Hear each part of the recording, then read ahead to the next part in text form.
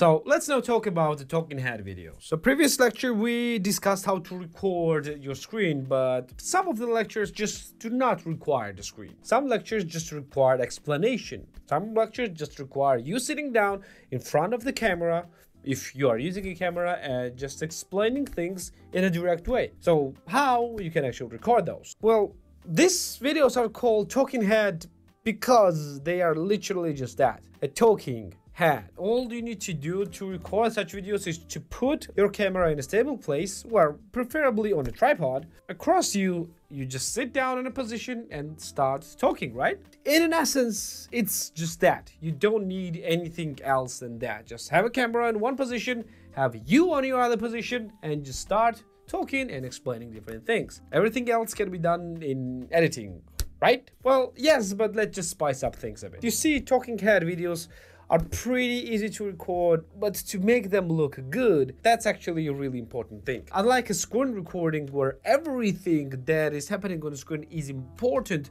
for a student, now here in talking head videos, the beauty and the quality is actually pretty important now. It's because it's far more pleasant to have a conversation with a beautiful picture, right? Well, it's not that you should be beautiful or you should be very handsome or very attractive. I'm not saying you are not, you probably are, but here far more important is how the quality of an image actually looks like. First thing what you should be thinking of when you are recording a talking head videos is framing. Framing is basically what is visible on a screen when someone is watching. Basically, frame is the screen, basically a square where everything is located on a screen. Where it starts on the top, where it ends on the bottom, where it starts and ends on from the right and from the left sides of the screen. This is what you need to think about before you're gonna actually hit the record. You're gonna put it in a good framing and try to not put the things that are not necessary in frame. Like right now, do you think do you see something that is not necessary in a frame? Yes, that's right here. That's a cable that has been there from the very beginning. That's a cable. It's not necessary there. It's just a clutter. So I'm pretty sure that some of you might actually have seen that and thought that what the hell this cable is doing there it's not looking great some of you might be thinking like that and it actually changes the quality of the video a bit. What I should do actually is to get rid of this cable. Now, cable is not visible there anymore. Much better, right? And such small details in framing is actually very important. Try to have very clean and tidy environment behind you and it's actually far better to, to record your videos in front of the blank wall. Well, if you cannot clean your room for some reason or your workplace for some reason or it's just overcluttered don't worry if you have like a library or things like that behind you. I'm not talking about things like that. I'm talking about the things that should not be behind you and like very untidy like cables swinging around and things like that. Yeah you should have very clean background in order to have a good recording of your talking head. Next is, well, uh, next, rather, actually the first one, the most important is to have a good lighting. You see, the quality of a picture is purely dictated by the light, not by the camera itself, or not even by framing. Let me show you an example. What you see right now is a few points of lighting uh, in this room. There's actually one light in front of me right here, which is called a key light, which illuminates my face from this side, which this basically perpendicular for this one. Uh, there's another light which is illuminating this side of my face, which is located right here. And there are a few practical lights. Practical lights are behind me. There is a light strip behind the table. There's the screens themselves, which are looking pretty good and there is actually lighting right here on the screen. I'm not sure if you will be able to see that but if i put my hand like that you see that it's actually illuminating my hand. So that's so these are actually practical lights. So what is the point of all this? You see all of those things have their own use cases. And let me show you. Let me just turn off the side light. Do you see how it looks like right now it looks good. It does not look bad because key light is actually illuminating large part of my face. But you see, this side got way too dark and just goes into darkness very easily. Just add the light. It looks much better. Add a more light and it gives you a contrast of white daylight and the tungsten light to the side.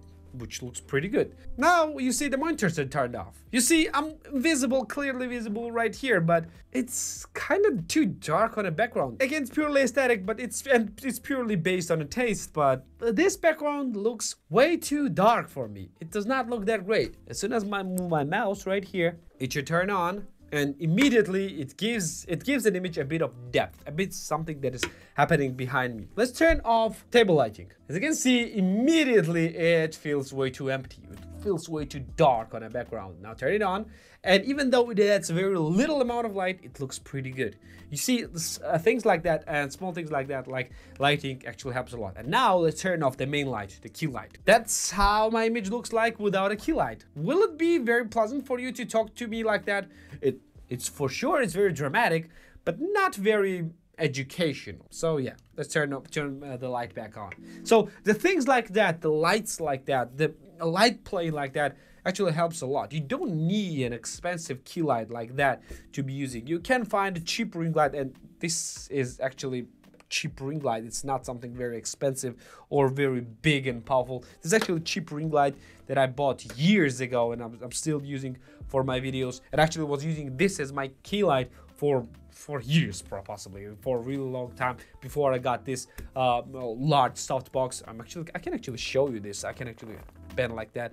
It's actually it's actually something like that. This is my key light. Let me get back to position. And yeah this light play like that helps a lot with the great video quality.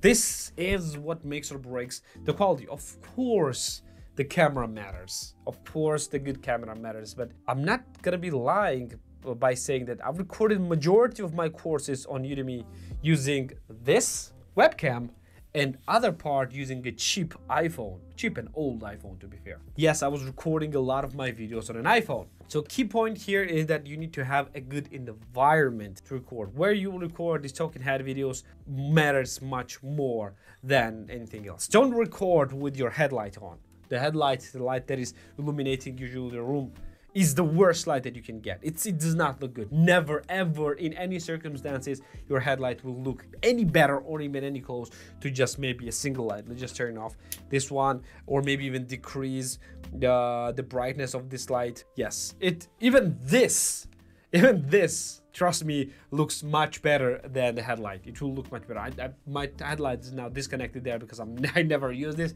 But yeah, you know, but yeah, it's actually much better. Let's get back to the full blast like that. Yeah, the key point in a recording of the talking head videos is that you just need to sit down, have a script or an outline in front of you, and just talk. Literally, just talk and allow your environment to do everything around you. That's basically what it is. Just talk and just convey your message to your students. Just talk whatever you want to talk about, and that is basically it. This is the key takeaway of Talking Head videos.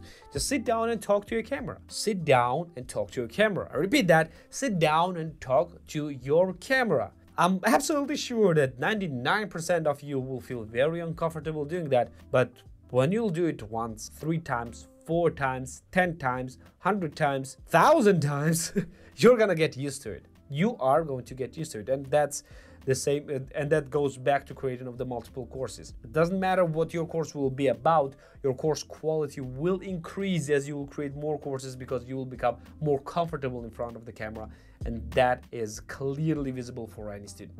Confidence on your camera directly transfers into a visibility basically into maybe if you call it illusion it's not an illusion but for some it's an illusion illusion of knowledge of an instructor. So know that the confidence is extremely important in your camera and you can train your confidence by doing talking head videos like this one and by doing them a lot. And i mean a lot. That's why the creation of the youtube channel will be probably the most beneficial thing for you as an instructor because you will train basically for your courses uh, in this way. And when you will and and the when when the time of the course creation will actually come you'll be ready you'll be ready for any camera and for anything that is thrown basically in front of you. I guess this will be it all about the recording and I guess in the next lectures we can actually start moving on to editing. Yep, I'm gonna see you there.